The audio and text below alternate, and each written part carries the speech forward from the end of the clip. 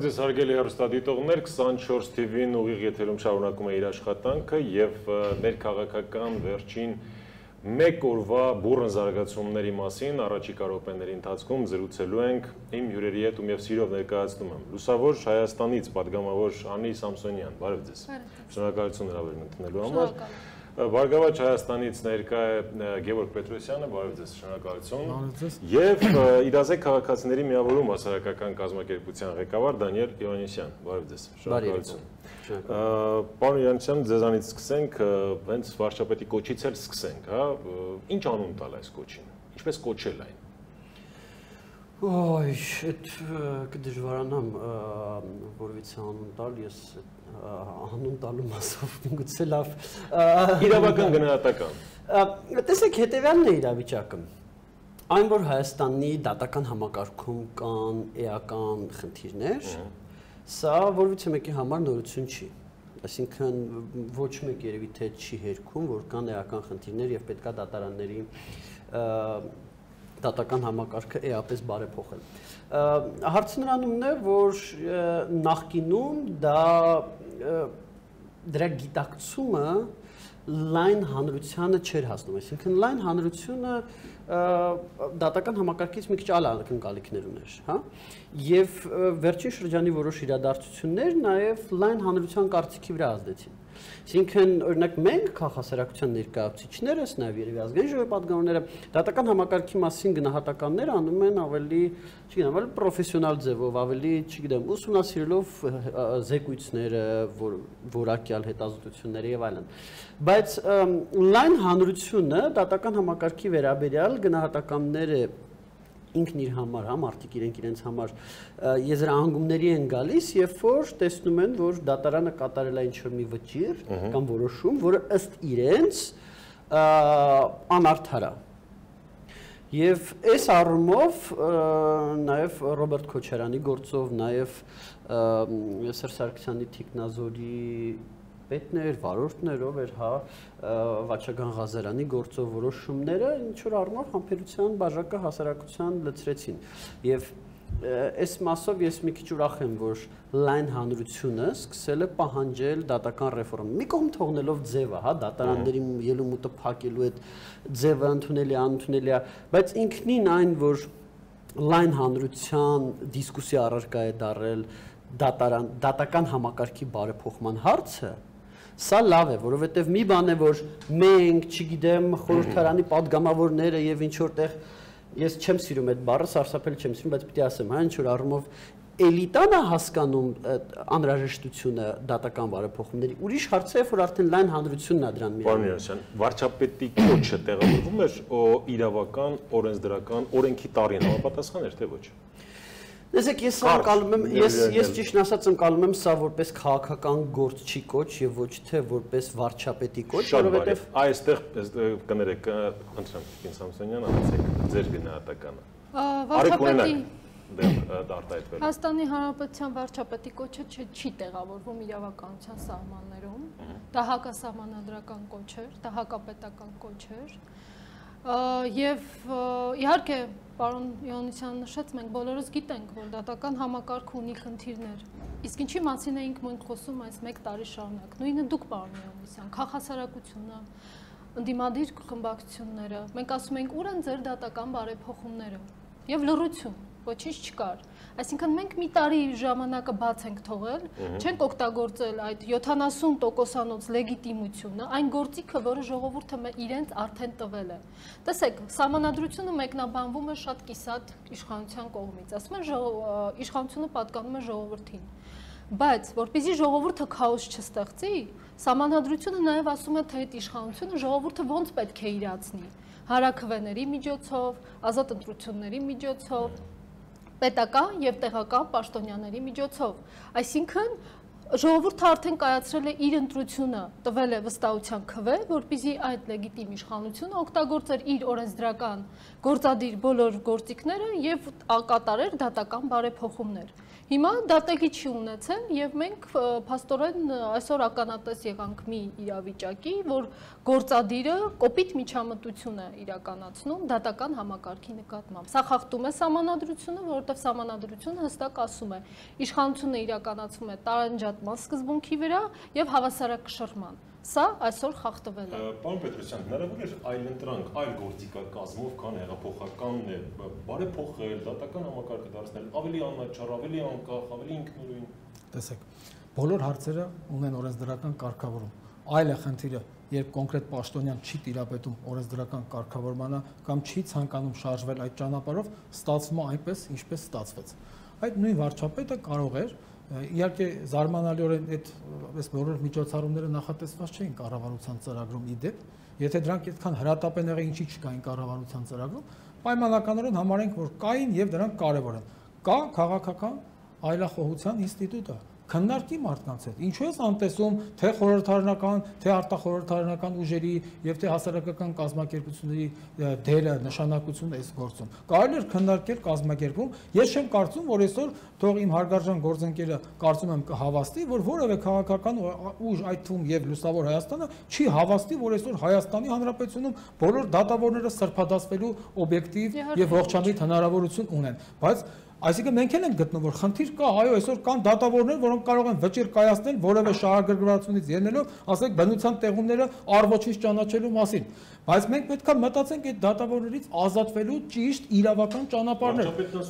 Ոչ, ուրեմն տեսեք, պարոն Իրանեսյանը, ես չեմ կարող ասել մատնեց կամ սադրեց, բայց իր խոսքում փաստորեն ակնարկեց, որ այս ողջևորությունը պայմանավորված էր նախորդ օրվա հայտնի դատավարության ավարտով, այսինքն հանրապետության երկրորդ նախագահ պարոն Քոչարյանի հետ կապված դատավարության ավարտով, բայց միթե լրջությունը այն աստիճանիա նվազել մեր երկրում ամենաբարձր մակարդակում, որ մենք պետքա ինստիտուցիոնալ քայլերը թողնենք եւ կոնկրետ դեպքերով հեղափոխական փոփոխություններ նախաձեռնենք։ Ես նորից եմ ասում, չկա մեկը եւ չի կարող որ ասես որ Հայաստանի բոլոր դատարանները ապրում են օրինականության ոգով, բոլոր դատավորները, չգիտեմ, վճիրները կայացնելիս հիմք են ընդունում համանդրության, դատական օրենսգրքի, քրեական, քաղաքացիական դատավար, չկա այդպիսի բան, բայց այսպես կարելի էր անել կազմալուծել ես օրինակ այսօր եմ բերել մի քանի առիթով այդ նույն բանն է ոնց որ վարչապետը ասենք ենթադրենք իր մի որևէ ազգականի աստված ոչ արասե անհաջող վիրահատության արդյունքում մահվանից հետո կարգադրել փակել հիվանդանոցները մի փրկարար իր ծառայությունը անհաջող իրականացնի, լուծարեր փրկարարական ծառայությունը կամ ասեր գնացեք, այդպես ո՞նց կարող է։ Հիմա մի ֆուտբոլիստ անհաջող խաղա, թող լինի 10 դատավոր, հարգելի պարոն Յովանեսյան։ Չի կարելի անznական խնդիրները դարձնել պետական քննարկման առարկա, պետական մոտեցման առարկա։ Դուք շատ լավ գիտեք, թե ոնց կարելի է պատժել այն դատավորին, որը հարուցել է օրենսդրության զայրույթը։ Բազմաթիվ արարողակարգեր կան։ Եթե որևէ կոնկրետ դատավոր, այդ թվում նաև պարոն Քոչարյանի գործը քննած դատավորը, ասենք, խախտել է օրենքը, շատ լավ գիտեք ոնց կարելի է այդ դատավորի հետ վարվել։ Բայց դրա պատճառով կազմալուծման առաջ կանգնացնել կամ ի՞նչ է նշանակում այսօր վարչապետ ասում է, թող ինքնաբացար հրաժարական տան այն դատավորները, որոնք ասում են իրանք կասկածում են, որ իրանք օբյեկտիվ վճիռներ կարան կայացնել։ Սա ո՞ր ժանրից է։ Ֆանտաստիկայի, հումորի, Ես ի՞նչ է նշանակում։ Բայց այս առումով ես մի քիչ Իսկ դուք որպես ասենք կներեք հազար անգամ երևություն, ինչի՞ չեք օրինակ դուք որպես իրավապաշտպան կարող պահանջում որ հրաժարական տանեն նախարարները, որոնք կապ չունեն իրաց բռնած գործի հետ։ Տեսեք, ես Ինչի՞ չեք պահանջում որ հրաժարական տան այն падգամավորները, որ բացարձակ որևէ անելիք չունեն ազգային ժողովում։ Դե այդ պահանջեք պարոն Պետրոսյան, թույլ տվեք ասեմ էլի։ Հիմա ստեղ խնդիրը մի կամ մի քանի դատավորի մեջ չի։ Չէ, դուք ասացիք համբերության բաժակը լծվեց։ Դուք ասացիք նոր։ Ես ասում եմ լայն հանրության։ Պարոն Պետրոսյան, խնդրում եմ մի աղավաղ։ Ես ես բառացի վերարտավորում ձեր ասածը հետեւյալն է։ Դուք ասացիք, լավ։ Դուք ասացիք համբերության բաժակը լծվեց։ Պարոն Պետրոսյան, խնդրում եմ մի ընդհատեք ասեմ ինչ ասացի էլի։ Դե իմ ասած է, պատարակ չի որ չընդհատեն։ Բանավեճա չէ։ Իմ ասած էն էր, որ հանրության լայն շրջանակների մոտ համբերության բաժակը լցվեց այս գործերով։ Ես չեմ ասում, որ իմ համբեր դատական համակարգի նկատմամբ, չգիտեմ, իմ կամ ես վստահ եմ նաև, չգիտեմ, ձեր համբերության բաժակը, որ դատարանների հետ կապված էական բարեփոխումներ ա պետք ան դատական համակարգի հետ կապված վաղուց է լցվել։ Եվ Քոչարյանի գործ ոչ ինձ, ոչ էլ ես վստահ եմ ձեզ, պետք չէր, որpիսի մենք հասկանայինք, որ պետքա դատական բարեփոխումներ անել։ Բայց երբ որ մենք խոսում ենք լայն հանրության մասին, լայն հանրություն, այսօրվա 1000 հոգի քաղաքացի որ ընդհանուր երևի 1000 1005 թողնի 2000 երբ Հայաստանում 2 միլիոն մարդ ապրում բայց 2000 հոգի գնում են դատարանները իրենց պարապ ժամանակը վատնում են այնտեղ եւ ներկայացնում որ ես ուզում եմ հետեւյալը արձանագրենք էլի նաեւ կապված նրա հետ թե որն է իրականում խնդիրը խնդիրը մի դատավորը չի խնդիրը մի քանի դատավորները չի խնդիրը համակարգն է դատական համակարգի ներքին եւ արտաքին անկախությունն է Դատական համակարգի արտաքին անկախությունը դա երբ որ դատական համակարգը անկախ է այլ իշխանության այլ ճյուղերից։ Եվ այստեղ այս պահին այդ անկախությունը որքանով որ կա, ինքը պայմանավորված է զուտ քաղաքական կամքով։ Եվ այդ բոլոր դատական համակարգը, չէ, ես չեմ, ես քաղաքական կամքով արդարադատություն խնդրում եմ ես ձեզ չի ընդհատել։ Ես ես ես նկատում եմ սա բանավեճ է։ Գործիքակազմը ձեզ համար ընդունելի է։ Քաղաքական ճաշակով արդարադատությունը Ճիշտ է, չէ՞։ Ջորջան, միջև վերջ ասում եմ, խնդրում եմ։ Դատական համակարգի ներքին անվտանգ, ներքին անկախությունը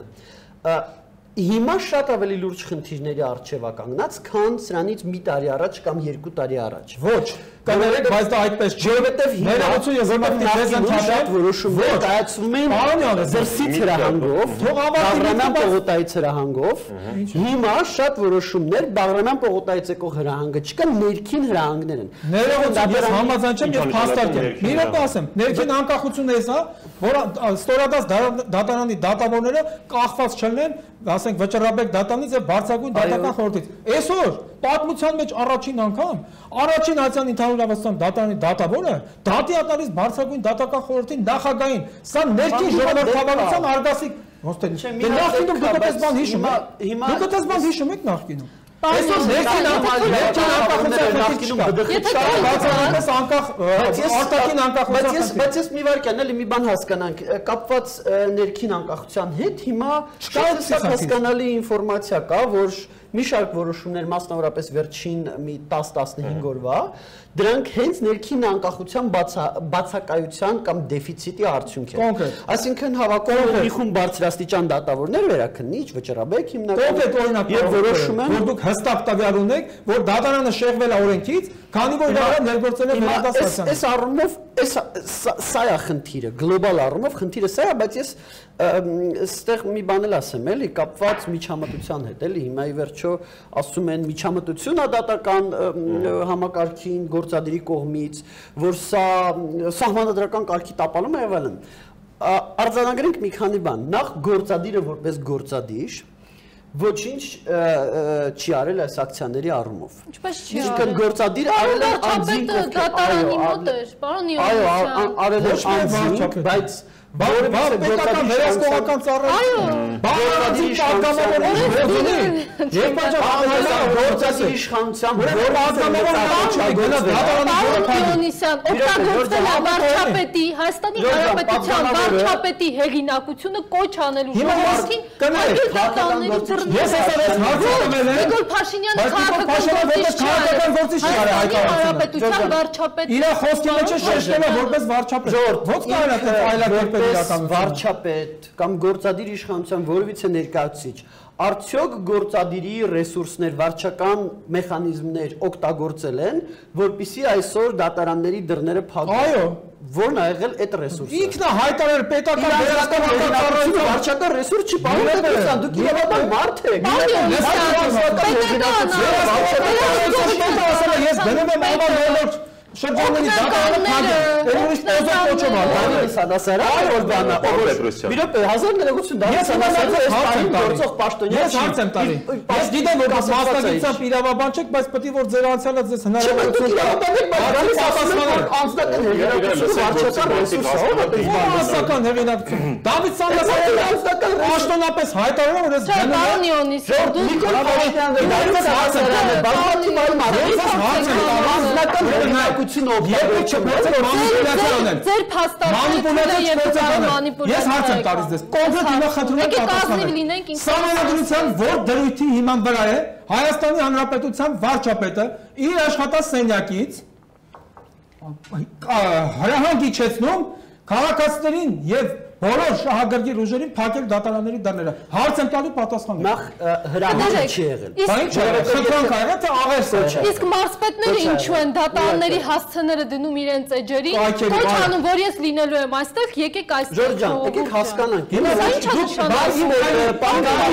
ներկայացնում թե իրավապաշտպան կառուցեք ներկայացնում։ Ժորժան, իսկ իմ քանի շահերում շատ է որ մարսպետը գործադիրի մաս չի։ Ժորժան, արդյոք կա ինչ-որ իրավունք, որ ունի քաղաքացին հավաքների հավաքների իրավունքի հետ կապված եւ ճունի օրինակի համար մարզպետը կամ վարչապետը Ուրեմն հանրային ծառայության մասին համաձայն հանրային ծառայողը իրավունք ունի հրաապարականորեն ընդդիմանալ պետական մարմինների գործողություններին եւ որոշումներին։ Կարդացեք խնդրում եմ օրենքները եւ կտեսնեք։ Մի վարքյան, իսկ ստեղ տենց բան ունենք ունենք։ Բա ինչ ունենք։ Ո՞նց է, որ ինչու՞ է դա դրսևորվում։ Գնում են դատարանի դեպի արկելն են դատավորի մուտքը։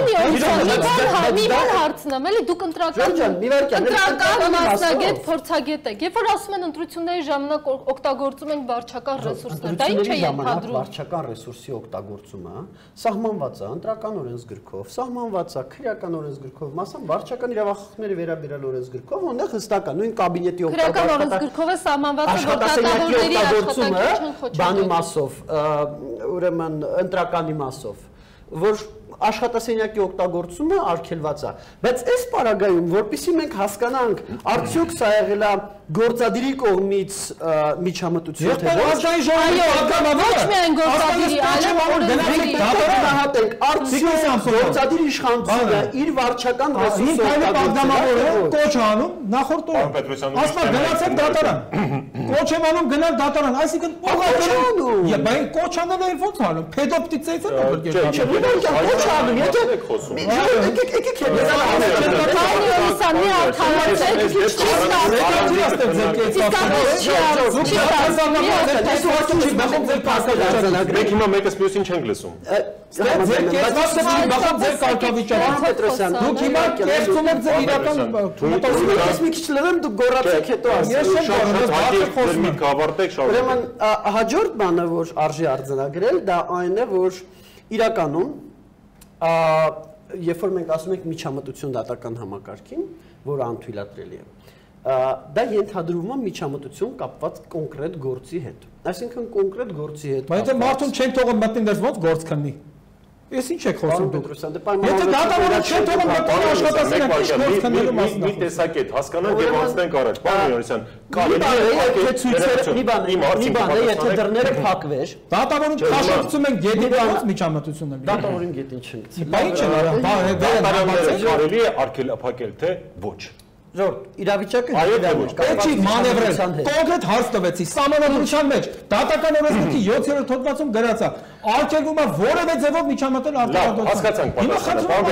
Պատասխանը։ Արտադրության միջամտությունը, արտադրության միջամտությունը ենթադրում է, որ կոնկրետ գործով կամ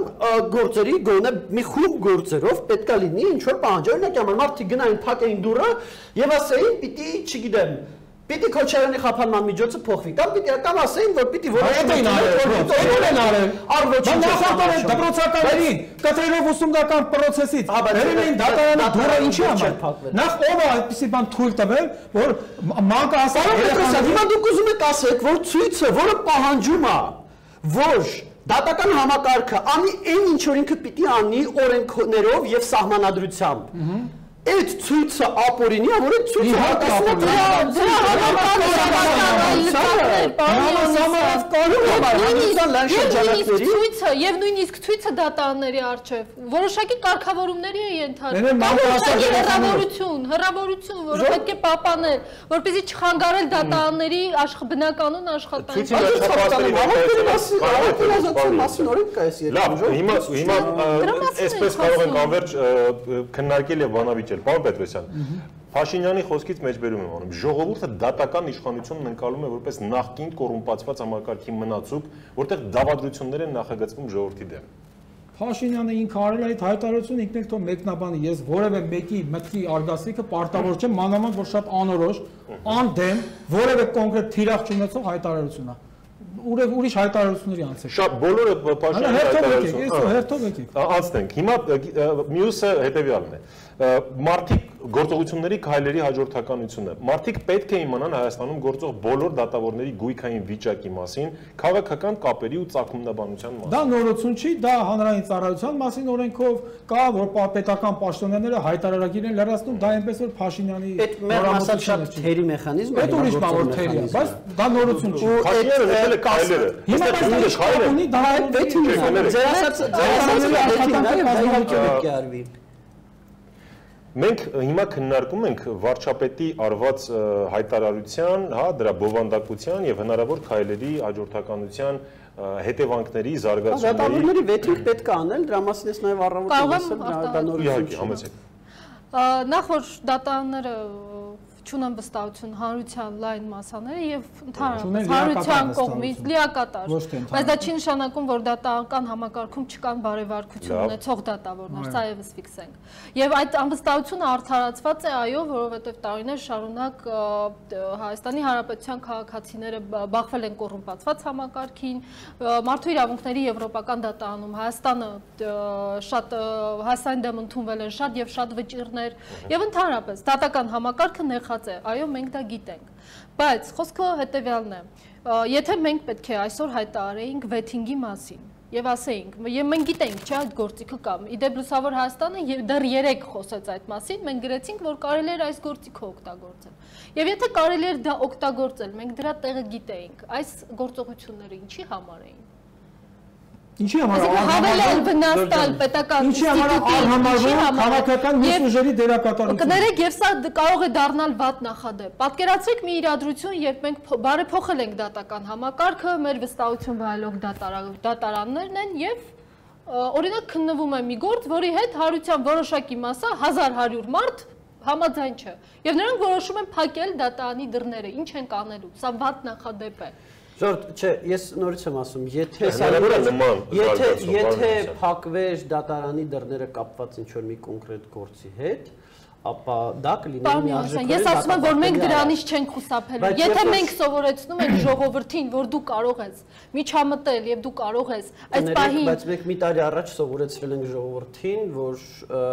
դու կարող ես միջամտել, նաեւ դու կարող ես փողոց փակել, սահմանափակել, այլ անձանց տեղաշարժվել իրավունքը։ Բայց մեզ մոտ պետք է հակառակը լինի, հասկանաք, մենք ժողովրդին պետք է սովորացնենք, թե ինչպես են գործում պետական ինստիտուտները, հարգանքը պետական ինստիտուտների նկատմամբ, եւ թե ինչ պետք է անի գործադիրը, գործադիրը եւ օրենսդիրը այդ 1 տարում մենք տվել ենք հնարավորություն պետական համակարգին դատավորներ։ Իրենք ասում են, կներեք, իրենք ասում են, հանրային շահերը իրենք կներեք պարոն պատասխանեմ հարցին, իրենք ասում են մենք տվել ենք հնարավորություն, պետք է ինքնամաքրվեին։ Ոչ, դատական համակարգը չէր ինքնամաքրվում եւ ես այո, այստեղ համաձայն եմ պարոն Իոնիսյանի հետ։ Մենք ես շատ անգամ եւ նաեւ ելույթ եմ ունեցել, ասում եմ, ասել եմ, երբ դուք ասում եք, որ մենք այլևս չենք չենք զանգում դատավորներին, դատավորները մեզ չեն զանգում, դա չի նշանակում, որ համակարգը առողջացել է։ դատավորները չեն զանգում, բայց հանրապետության հրապարակից վարչապետը կոչ է հնչեցնում, որ այս երկրում կա տես դատավոր, որ ինձ հակադրվի։ Ու փաստորեն, երբ որ հայտնաբերվեց այդպիսի դատավոր, պարոն Պետրոսյան, մի քիչ աղավաղում եք, ինքը ասում է տես դատ, ինքը ասում է տես դատավոր չկա, որը ուրեմն գնացեք նայարի իմ ասած, ասում, ես ինձ թույլ չեմ տալիս։ Մի րոպե, մի հատ խնդրում եմ մի քիչ ընդհատեք դու։ Մի ընդհատեք, ես ոչինչ չեմ եմ աղավաղում ամեն բառիս համար էլ պատասխանատու եմ։ Վարչապետը նորընտիր այն ժամանակ հայտարարեց, որ Հայաստանում որ որ դատավորը կարա իմ ասածին հակադրվի։ Եվ փաստորեն իհայտ եկավ դատավոր, որը իր կամքով չշարժվեց, եւ այս ամեն ինչը ծնվեց։ Դուք ձեր խոսքի սկզբնամասում գաղտնազերծեցիք, ասացիք, որ համբերության բաժակը Քոչարյանի գործով լցվեց։ Բերնա իմ ասացնել է կաղավաղում։ Ես ասում եմ, հենա ժողովրդի հանրության այս շրջանակների հանրության Ես ասացի, ոչ գիտեք, ոչ ձեր եթե եկել եք հանրության այս շեղելու, այդպես բան չի ների։ Բարի եղեք, Հադրեվ պարոն Հրանեսյան։ Մինատը իրեք Իգեր ջան, դուք հարգելի եք։ Լավ է, Խնդիրը չտեղափոխել իրավական հունից, բարի եղեք պատասխանել իրավական հարցին։ Օրակարգի պահողը ես Իրավական հարց աստեղ։ Այո, Դուք եք անձնական բարոյի ասեք։ Իմաստով դուք իրավական հարց Ես եք։ ես ես առումով մի բան ասեմ հասկանանք էլի։ Կա հանրային շահերի, ոնց ասեմ, երբեմն այո, ինչ Ի՞նչն է որ հանրային շահեր, շահեր, Մի Շահ, ուղիղ հարց տամ, Երբեմն մի ուղիղ տալ- հարց տամ, ասեք, կներեք, տեսեք, ինչ է ասում վարչապետը, միջև կոչ է արգելափակել դատարանները։ Facebook-յան իր էջում գրել էր ժողովրդի դեմ խաղ չկա։ Սա կարող եք ինձ բացատրել հասկանալ։ Դուք ով ապրեք ժողովրդի դեմ խաղ չկա։ Տենց էր գնա։ Ինչ է նշանակում սա։ Ժողովրդի հիմա ես ժողովրդի դեմ խաղ չկա արտահայտություն, հենց абստրակտ արտահայտություն է, ես վարչապետի մամուլի խոսնակը չեմ։ Կարապետյան Վլադիմիրին հարցրեք, թե սա ինչա նշանակում։ Կարապետյան Վլադիմիրը ասել գնացեք դատարանները գրոյ։ Ը, Ես Չէ, ժողովրդի բան մասը ասեմ։ նաև ես, ես ուրեմն հասկանամ։ Ա, Ինչ է Բայց նշանակում բայց դա։ ինձ Ինքն ինձ մի հարցրեք, էլի ես ամեն դեպքում Լավ, շատ- բարդ է պատասխանել Պարոն Պետրոսյանը չասի, որ եստեղ իմ քալի փաստաբան Մենք փորձում ենք դուք հասկանալ պրոֆեսոր հավիրված եք իրավապաշտպան։ Հասկանալի է, տեսեք, ես մի բան ասեմ, էլի կապված հանրային շահերի Ես ոնց կարամ պատասխան ունենամ իմ հետ խնդրում եմ, մի վարքեն։ Կապված հանրային շահերի ոնց որ Ես գտնում եմ որ երկրի ղեկավարը պատկերացնում եք, ասենք Գերմանիայի կամ Ֆրանսիայի համապատասխան պաշտոնյան հելնի իր երկրի ժողովրդին ասի Պարոն «Դուք Պետրոսյան, ով եք, եկեք կարևոր է մոտավորված ես ինչ ընդհատենք, ասեցիք էլի, նորմալ գոնե։ այդ արտահայտությունը դուք պրոբլեմ չունեք դուք խնդիր ձեր դեմ խաղ չկա Պարոն Պետրոսյան, եկեք կվոտավորված իրար ընդհատենք գոնե։ Պետք է քվոտավորման ենթակա հարց դուք հենց այս հարցերը Հիմա բացացիք ուրեմն տեսեք, հիմա նույն անցյալ տարի մարդիկ ունեին ազատ տեղաշարժվելու իրավունք։ հիմա էլ ունեն Բայց մարդիկ, բայց այլ մարդիկ որոշում են, որ պետքա փողոց փակել, որովհետև կա ավելի բարձր շահ, դա ժողովրդավարական պետություն ունենալու շահն է։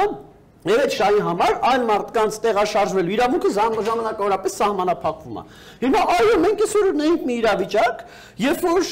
դատարանների աշխատանքը ժամանակավորապես պարալիզացված է եղել։ Այսինքն Ես աշխատանքային փակել է դուք ասում եք դատարանի աշխատանքը Կներեք, որ փողոցի փակել դատարանների գալու են աշխատանքը։ Եթե թույլ կտաք ղեկավարում եւ հավասարեցնում եք փողոց փակելը դատարանի Հիմա մարդիկ, հիմա մարդիկ ասում են, հիմա մարդիկ ասում են, կես աշխատանքային օր Այդպեսի դատարանները բան չի ասեք փակել։ ես Անհրաժեշտ Ցուցումներ Ո՞նց աշխատանքային տեսան որ հանրության մեծ աջակցություն չունեն, դրա համար անմիջապես լքեցին դեպքի վայրերը։ Ես ուզում եմ արձագանքել պարոն Իոնիսյանին։ Այո, այո, ժողովուրդը փողոց փակեց, դա հեղափոխության գործիք էր, դա շատ մտածված եւ շատ արդյունավետ գործիք էր, եւ այո, մենք հասկացանք, որ այդ գործիքների միջոցով է այդ պահին հնարավոր փոխել իշխանությունը։ Այլ ելք չկա։ Համենայն դեպս այն ուժը, որը առաջնորդում էր քաղաքացիական պայմանագիրը, հեղափոխությունը վստահ էր, որ դա է գործիքը եւ նա արեց դա։ Եվ դա 200.000 Բայց մարդ էր պահանջում։ Երբ որ այդ ուժը եկել է իշխանության, արդեն լիիրավ իշխանության դեկտեմբերից հետո եւ ունի 70% վստահություն եւ ունի ողջ լեգիտիմությունը, ողջ գործիքակազմը իրակ- իրականացնելու ինստիտուցիոնալ բարեփոխումներ, այլևս ժողովուրդը այստեղ անելիք չունի։ Ժողովուրդը պիտի միայն նստի եւ սպասի, թե ինչպես է իշխանությունը իր կյանքը բարելավում, կատարում։ տնտեսական հեղափոխություն։ Եթե ժողովուրդը շարունակելու է փողոց ու դուր փակելով իրացնել երկրում իշխանություն եւ հարց լուծել, ապա ինչի համար է այս իշխանությունը։ Ինչի համար ենք մենք։ Ինչի համար են պաշտոնյաները փող ստանում պետությունից։ Ես Գնանք տուն ժողովուրդը եմ, բայց միայն մասամբ, որովհետև ես Փող են ստանում որ Ես հարցազրույցից փախտեն ասեն տաքսի Ես սպասում։ պատրաստ եմ ստորագրել ձեր այն խոսքերի տակ, որ այս ռեֆորմները պետք է սկսվեին շատ ավելի շուտ որ մի տարի առաջ այս օրերին արդեն պետք է սկսվեր անցումային արդարադատության քննարկումները, պետք է սկսեր դատական ռեֆորմի քննարկումները, որpիսի թեկուզ եթե նախորդ խորհրդարանը չընդունել էր, նոր խորհրդարանը արդեն ընդուներ եւ հիմա մենք օրինակ արդեն ունենայինք դատավորների վեթինգը կամ ուր վրա ունենալու վրա լինենք։ Այո։ Բայց այս այս մասով ես համաձայն եմ, եւ այս մասով լուրջ հարցեր են առաջ գալիս ուղված գործադիր իշխանության ու ուղված արդարադատության նախարարության ու ուղված վարչապետին, այսինքն այստեղ ես չեմ արարքում։ Իրոք սա խնդիր է ու իրոք պետք է հարցնել թե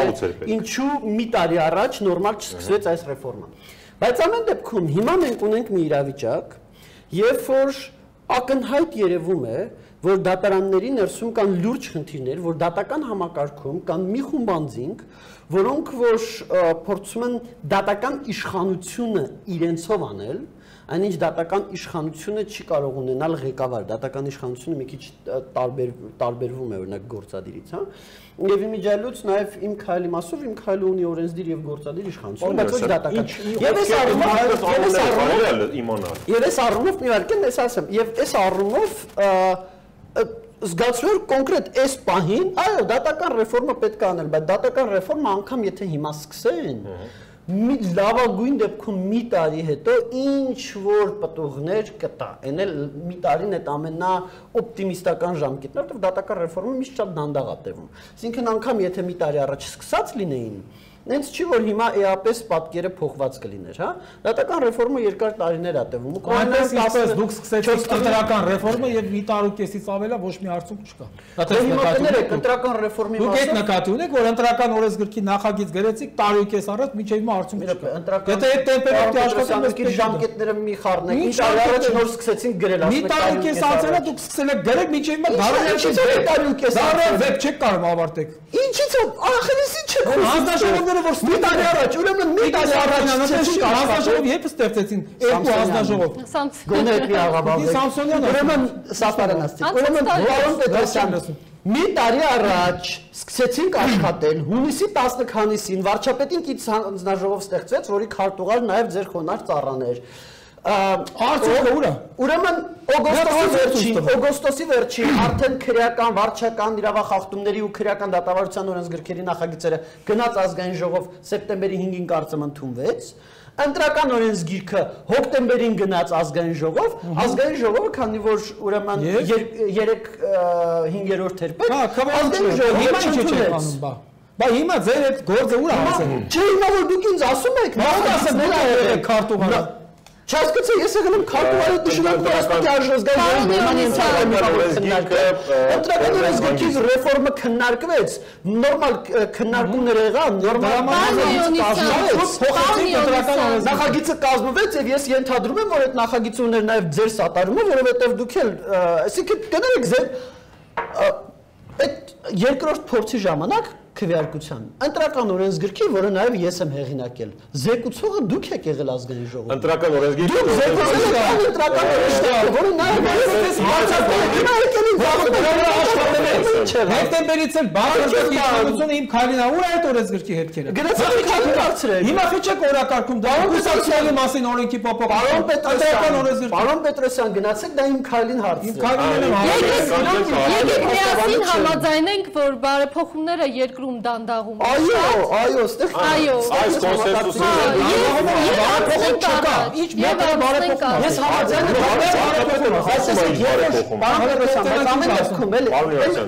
Անդրականով արտիստը բառնտի ձեր Պաուլ Պետրոսյանի կկանչեմ կզրուցեմ։ Չէ, բայց ստեղ եկեք արձանագրենք էլի։ Աշխատել եք, լավ եք արել, Չէ, չէ, ընդրականի թեմատիկան Ազգային ժողովում պետք է տեղի ունենա օրենսդրական համապատասխան աշխատանք երկրի համար կենսական օրակարգը կյանքի կոչելու Հայաստանում իրապես անկախ դատական համակարգ ունենալու համար։ Եթե սրա համար անհրաժեշտ լինի իրականացնել համանդրական փոփոխություններ, պետք է գնանք այդ քայլին։ Եթե սրա համար անհրաժեշտ լինի համաժողովրդական հանրակրվե, պետք է գնանք նաև նման լուծումների վարչապետ Փաշինյան։ Համաձայն եք թե ոչ։ Կարելի է կարծիք։ Իհարկե։ Ուրեմն ոչ թե եթե պետք է լինի, այլ Հայաստանի Հանրապետության սահմանադրության 202-րդ հոդվածի համաձայն այդ գլուխը, քրեական օրենսգրքի 7-րդ գլուխը կարող է փոփոխվել բացառապես ժողովրդ համաժողովրդական հանրակրվեի միջոցով։ Այսինքն սա ոչ թե վարչապետի բարի կամքն է, սա երկրի համանդրության թելադրանք։ Բայց մի արժեք չի որ երկրորդ գլուխում փոփոխություններ։ Երկրորդ չի, 7-րդն է։ Դատական համակարգ։ Միանշանակ գրած է, կարդացեք համանդրությունը։ Դատական համակարգ։ Օրինասյան։ Չէ, այս առումով կարծես թե բոլորը Այո, այստեղ չի կա, տեսեք, ինչու ես առանձնացնում։ Այո, ասում, պիտի վաղուց ասվեր եւ մենք մի անգամից ասենք գործողությունների։ Ինչու ես առանձնացնում։ Հնարավոր է անել։ Իհարկե հնարավոր է, բայց ո՞վ է դրան դեն։ Չէ, ինչու չի արվել։ Բայց մենք էլ ենք եկել ստեղ Մենք հարցնել։ Այդ ինչու չի արվել, այդ ինչու չի արվել, Լավ է իրանք շահի թողնես։ Կանչենք հարցնենք ինչու չի Չէ, բայց մենք դրամ այդ ենք հարցնում, հարգելի արտակ։ Ասում ենք մի խելք դրա գնահատում մեր ուժերը։ Որտեղ շարունակել։ Ինչ խոչընդոտներ են։ Պարոն Յոնիսյանը մի քանի կնճիր բարձրաձայն։ Խոչընդոտը դա անձնական բնույթ կրող ամբիցիան է, որ ինչ որ մարդիկ այս երկրում մտածում են որ առանց իրաց ոչ մի ճշմարտություն չի կայանում, առանց իրաց միազնյա թելադրանքի։ Այ երբ որ այդ սինդրոմը վերացավ, երբ որ եղավ իսկապես սիրո, հանդուրժողականության մտնոլորտ, այն ժամանակ բոլորս էլ պատրաստ ենք աջակցել Հայաստանի օրենսդրությունը զարգացնելու, կյանքը Հայաստանում բարգավաճ դարձնելու։ Ես այս առումով քաղաքական կամքի բացակայություն չեմ տեսնում, այդ կամքը կա, ես տեսնում եմ տեսլականի խնդիր։ Այս իշխանությունը ունի հստակ տեսլական եւ դա իրեն խանգարում է ոչ միայն դատական բարեփոխումների հստակ 5 կետ Տիկին Սամսոնյանը նշեց վարչապետը, հա, անցում է մեխանիզմը Եկեք ով արտարացիորեն նշենք, որ առաջին անգամ չի նշվում։ Մեջբերում եմ, անցումային արտարացության մեխանիզմների ներդրումը ներդրումը կենսական առաջնահերթություն է ՀՀ-ի համար։ Այո, իսկ տեսլականը կա, եթե կար, ինչի ենք դա հիմա ասում։ Բարեփոխումների փաթեթը, տեսլականը անգլերեն vision-ը, եթե կար, ինչի ենք մենք դա հիմա ասում։ Մենք դա կանեինք արդեն, չկա, չի։ Եղել է միայն քաղաքական կամք, եղել է միայն հարության կողմից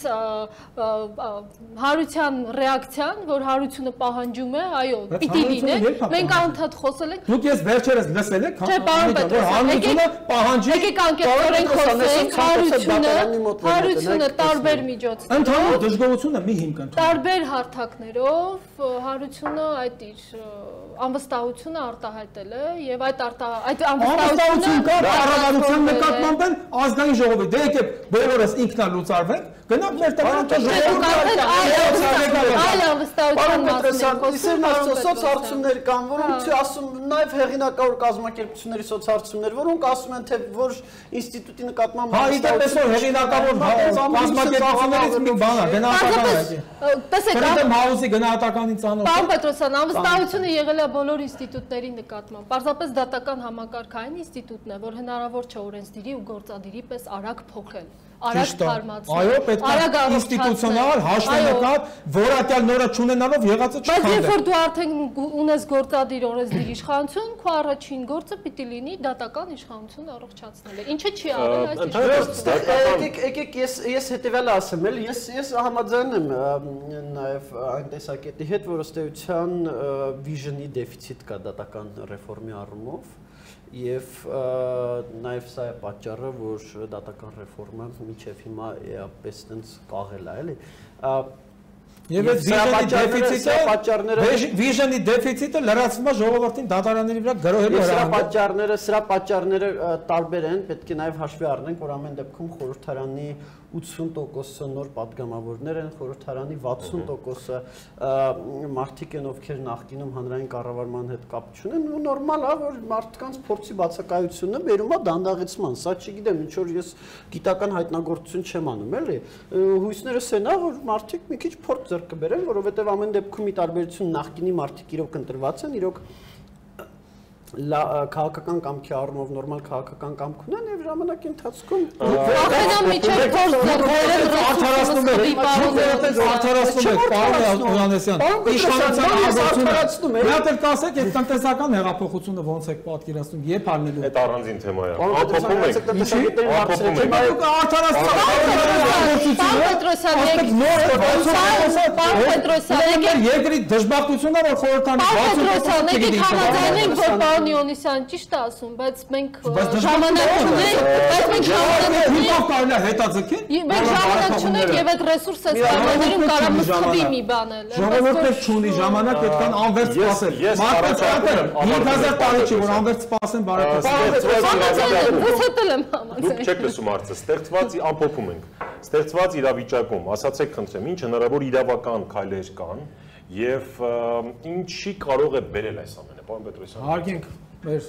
իգական սերի գործընկերոջը, հետո կարգանք։ Իրավական քայլերի մասին արդեն խոսեցինք, բացի այն, որ առանձին փաթեթ է պետք դատական բարեփոխումների, արդեն առաջարկը եղավ վեթինգի։ Իդեպ մենք վեթինգը անցումային արդարադատության գործիք է։ Մենք հրավիրել ենք, առաջարկել ենք, որ լինի արտահերտ նիստ խորհրդանում, որպեսզի մենք կարողանանք հավաքվել եւ օրենսդիրը իրավականության շրջանակներում քննարկի իրավականության շրջանակներում դատական համակարգի առողջացման խնդիրները։ Սա է միակ ճանապարհը պետականություն կառուցելու։ Այլ ճանապարհ համակարգերի կառուցման չի կարող լինել։ Շնորհակալություն, պարոն Յուրասյան, համեցեք։ Դե այս առումով նաև լավ որ ամսի 24-ին լսումներ կան անցում այն արդարացության մասին Այո, եւ այս դեպքերի համընկա, լույսի ներքո ես շատ- կարծում եմ որ հիմնական շեշտադրումը քննարկումների կլինի հենց վեթինգը ու դատարանների հետ կապված խնդիրները, բայց այս առումով մի բան ասեմ, էլի ամեն դեպքում կան երկարաժամկետ եւ կարճաժամկետ լուծումներ։ Այսինքն հիմա վեթինգը եւ այլն դրանք երկարաժամկետ կամ գոնե միջնաժամկետ լուծումներ են։ Բայց դատական համակարգում էական խնդիրներ կան հիմա եւ հարցը նրան արդյոք մենք այդ էական խնդիրների վրա ուղակի աչք ենք փակում։ Ուղակի աչք ենք փակում նրա վրա, որ դատարաններում կա, չգիտեմ, մի խումբ անձինք, որոնք որ որոշում են, թե որ դատավորը ինչ վճիռ պետք է կայացնի կամ ինչ որոշում պետք է կայացնի, եւ ասում ենք դե լավ վեթինգով, չգիտեմ, մի տարի հետո այդ խնդիրը կլուծենք, թե փորձում ենք հիմա ինչ որ ձև արձագանքել։ Եթե մենք փորձում ենք հիմա ինչ որ ձև արձագանքել, մենք ասելով առհասարակ էլի հանրության են բոլոր են մարդիկ, ովքեր ուզում են, որ դատական համակարգը նորմալ լինի։ Արձագանքելու կամ այդ խնդիրը լուծելու մի քանի տարբերակ կա։ Հա, տարբերակներից մեկը, որ հա, վարչապետը հերախոսը վերցնի զանգի դատավորին, ասի արա, էս ինչ եք անում, սենց չանեք, նենց կանեք, ու ու տենց այդ խնդիրը լուծվի, բայց այդ չեմ կարծում որ լավ տարբերակ է։ Հա, շատ ավելի լավ տարբերակ է, որ process-ը արվում է թափանցիկ, հրաապարակային եւ հանրության Եվ դա արվում է ոչ թե վարչապետի կողմից որպես վարչապետ, դա արվում է վարչապետի կողմից որպես հանրային սատարում ունեցող քաղաքական գործիչ, հա, որովհետև եթե ստացվում եթե Նիկոլ Փաշինյանը չունենար հանրային սատարում, այլ պարզապես լիներ վարչապետ, ինչ որ մի հատ մարդ ով որ չունի հանրային սատարում լիներ վարչապետ, տենց իրավիճակներ եղել են Հայաստանում։ Չէ, չէ, չէ, Պարզապես Չէ, տենց իրավիճակ եղել է Հայաստանում, սրանից 13 ամիս առաջ, երբ որ Կարճ ավարտում հիմա նենց չի որ դատարանների դռները հանրության կողմից կփակվեն։ Մի կարճ հարց խնդրում եմ։ հարցը Այսինքն Նիկոլ Փաշինյանը որոշեց հանրության միջոցով ճնշում գործադիր դատարանների վրա, որ դատարանները գոնե միջև էս ե- միջնաժամկետ կամ երկարաժամկետ լուծումները համեմատաբար նորմալ գործ են։ Այո, սա ճնշում է Իսկ ավելի լավ կլիներ բարձրագույն դատական խորհուրդը Այսինքն դուք հաստատված համարեցիք, որ ճնշում է գործածվել դատարանների վրա։ Այո, է, իհարկե սա ճնշում է դատարանների վրա, բայց սա ոչ թե ճնշում է Ոչ թե ճնշում է, անում, Ինչ մենք եք այստեղ։ Որ սա ոչ թե Եթե մենք ճնշում է բանն միջամտություն է։ ասեք, կարող առանց թե գալու դուք։ ո- սա ոչ թե ճնշում է կամ միջամտություն է ինչ որ մի կոնկրետ գործի հետ կապված։ Սա արդեն սա ասել ճնշում է, որ է ուրեմն այո, սա ճնշում է, որ Չեք պատգամավորները համոզեցին։ ժողովրդի միջոցով ճնշում է դատարանների վրա։ Հիմա ես պետք է Պարոն հավատամ։ Պետրոսյան, թողեք նախադասությունը սովորտեմ։ Կես Սա ճնշում է, որ դատարանները անեն այն, ինչ որ իրանք պետք է անեն օրենքի եւ սահմանադրության տրամաբանության այդպիսի համապատասխան։ Այսինքն, որևէ օրենք խախտվել է։ Գիտեք, ես կարծում եմ, որ տրամաբանությունը առհասարակ դատական համակարգի բավականին խախտված է, այսինքն սահմանադրության տրամաբանության ինչ կապ ունի։ Օրենքը հստակ ֆիքսում է ինչ-որ բան։ Բայց- Եթե խախտվել է, հաջորդիվ իրավական Բայց ես գործընթաց նորից կա։ մի Եթե բան ոչ, տրամաբանություն, փիլիսոփայություն, խիղճ, ճնշումը անթույլատրելի է, երբ որ ճնշումը կոնկրետ գործի հետ կապված է Դուք մի բան հնարել եք ուզում եք մարդիկ ցույց են անում։ Եթե մարդիկ ցույց են անում, ես ասում են, որ իրենք պահանջում են նորմալ արդարադատություն։ Այո, սա ճնշում է, եւ սա ճնշում է նորմալ։ Մենք նորից վերադառնում ենք Ժորժան, նույն ձև ոնց որ Դուք հիմա փորձում եք մանևրել, դուք արդեն հաստատված համարեցիք, որ վարչապետը ժողովրդի միջոցով ճնշում էր դատարան։ ես փորձում եմ Ես հասկանալ։ պետք է հարցին պատասխանեմ, որ ասում է, որ հարգարժան բանախոս ասում է վարչապետը դա ոչ թե որպես վարչապետ է ասել, որ դատարանների հրը մի Այո, դատարան որտեղացիներ որպես վարչապետ, եթե որպես վարչապետ չի, Մի օր ես ինչ եք խոսում, անհարմար է ժողովուրդը լսում է։ Որպես վարչապետ, որ չի, բա ինչ իրավունք ունի ցույցում տալ ազգային անվտանգությանն ու ոստիկանությանը երկու ժամվա ընթացքում պոլերին պարկասնելու պատերին ծեփել։ Էդ էլա որպես քաղաքական գործիչ ասում։ Հիմա ես քաղաքական հետ այդ կապն ունի, նույն օրն է խոսվել, ապելատիվ եք, էլի սա Ձեզ կարակ ասեք, որ երեք վարչապետը ստորագրել է Լավ վերջացրեք։ Նույն օրն է դատարանների մասին, որ ասեց լաթոմի դատավոր փորձի իմ ասածը չանի ինձ հակադրվի։ Դա որպես վարչապետ ասել, ոչ դա ես քաղաքական գործիչ եմ, կարող եմ նման բան հիմա թույլ Տենց չի ասել, հիմա կանել եք նայեք զայնագործությունները, մանիպուլյացիա գնացեք զայնագործությունները, նայեք, կարդացեք օրենքները Եվ Կոնտեքստից եւ այստեղ եք դուք ասում, բացարձակ չեք տեսվածքին, ես որ բան իրավապաշտպան ասեմ։ կառուցեք եկավ։ Այսօր դուք ստեղ եկել Հիմա դուք եկել եք ասում եք, Պարոն Պետրոսյան, դուք եկել եք ասում եք, որ չի կարելի դատարանի վրա ճնշում գործադրել, որ ճնշումով պահանջել, որ դատարանը գործի Իհարկե ասում եմ եւ ստորագրում եմ։ Պարոնայք, ես կարծում եմ եւ եկեք համաձայնենք այն հարցի շուրջ, որ ինչքան էլ մենք այստեղ տարաբնույթ մեկնաբանություններ տանք այսօրվա գործողություններին, Մարդու իրավունքների եվրոպական դատարանի գանգատների վրա սա ունենալու է իր ազդեցությունը, որովհետև այնտեղ այս տրամաբանությամբ չեմ չափում։ Այնտեղ հստակ չափում են։ Եղել է ճնշում, թե չի եղել։ Այս կոնկրետ գործի հետ մտահոգությամբ ավարտում ենք այսօրվա մեր գործի հետ կապված։ Գործի իրադարձությունները անմիջապես հետևել են իրար։ Չմոռանանք դա։ Վերջին հարցս կես-կես րոպե, եթե պիտի պատասխանեք, տամ, եթե չէ, չեմ տա։ Ժողովրդավարություն հենց այս կերպ իր մեջ ներառում է այս այս գործընթացները, որոնք մեր երկրում տեղի են ունենում։ Սա նորմալ process է, որ տանում է մեզ դեպի ժողովրդավարություն, թե ոչ։ Նորից անեցեք կարճ։ Եթե ազատ ընտրություններից հետո ժողովուրդը չի ձևավորում այն իշխանությունը, որը պետք է իրացնի իր իշխանությունը եւ ժողովուրդն է սկսում զբաղվել երկրի գործերով, գործընթացներով, process-ներով, սա արդեն ժողովրդավարության այլասերում է ինչ որտեղ եւ քաղաքագիտության մեջ սա տեղ է գտել օխլոկրատիա առումով։ Սա ամբողջ ամբողջավարություն է եւ սա շատ վտանգավոր է։ Տեսեք, իրականում տարբեր երկրներ ժողովրդավարացման տարբեր ուղիներ են անցել։ Եվ շատ երկրներում դա զուգորդվել է շատ տարբեր իրադարձություններով։ Որոշ երկրներում սահուն տարիների, տասնամյակների, դարերի ընթացքում է եղել, որոշ երկրներում, չգիտեմ, արունալի իրադարձություններով է եղել, չգիտեմ, բաստիլ գրավելով է եղել, այսինքն տարբեր երկրներում տարբեր է եղել։ Հիմա կարևորը որպեսզի առանձնահատուկ է սա։ Մենք այսպես Հիմա հիմա կարևորը է որպեսզի իրականում մեր երկրում այնպիսի գործողություններ կատարվեն, որ այս մեթոդների կարիքը չլինի, որտեղ ես չեմ ասում, որ այս մեթոդները տենց լավագույնն են։ Այսինքն պետք է այնպիսի ինստիտուցիոնալ փոփոխություններ արվի օր առաջ, որպեսզի կարիք չլինի ամբողջավարության։ Բայց երբ որ մենք փորձում ենք հասկանալ, թե ինչն է ավելի վատ, չգիտեմ, այս մեխանիզմները, թե երբ որ դատական իշխանությունում ուղակի ինչ որ մեկը իշխանություն է, ինչ որ խումբ իշխանություն է, դատական իշխանությունը ուզուրպացնում է եւ ը, վճիրներ է թելադրում, ապա այս սցենարը իհարկե շատ ավելի քիչ վնասակար է, քան թե այն մյուսը։ Շնորհակալություն, ուրեմն այդ ինչ որ մարդիկ եթե իսկապես կան, թող տանեն նրանց դատեն, մենք էլ շատ ուրախ կլինենք, բայց ինչ որ մարդկանց պատճառով համակարգեր վերացնել պետք չէ, նույն հաջողությամբ ինչ որ մարդիկ չէին կարող ղեկավարել Սփյուռքի ու մշակույթի նախարարություն, դրա համար լուծարեցիք։ Իսկ հիմա ժողովրդավարության մասին։ Ժողովրդավարության դասական իմաստը այն է, որ ժողովուրդը կարողանա արդար ընտրությունների միջոցով ձևավորել իշխանություն, բայց Դա բավարար չի։ Ժողովրդավարություն կոչվածը լիարժեք իրացված համարում են։ Այդ նույն իշխանություն ձևավորած ժողովուրդը այդ իշխանությունից ունի լեգիտիմ ակնկալիք, որ իշխանությունը իրան ճիշտ կառավարի, որ առեսօր սոված անգոր չգա դատարաններում դատարանի դատավորի դուր փագի։ Սա է ժողովրդավարությունը Հայաստանում։ Շնորհակալություն քննարկմանը հյուրընկալվելու եւ մասնակցելու համար։ Հարգելի հեռուստադիտողներ, ես հիշեցնեմ, մենք 24 TV-ի ուղիղ եթերում ենք, ա, զրուցում էինք վերջին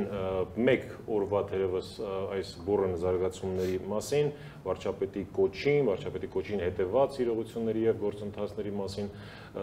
լուսավոր Հայաստան խմբակցության պատգամավոր Անի Սամսոնյանի Բարգավաճ Հայաստան խմբակցության պատգամավոր Գևորգ Պետրոսյանի եւ իրավապաշտպան Դանիել Իոնիսյանի հետ։ Շնորհակալություն ուշադրության համար։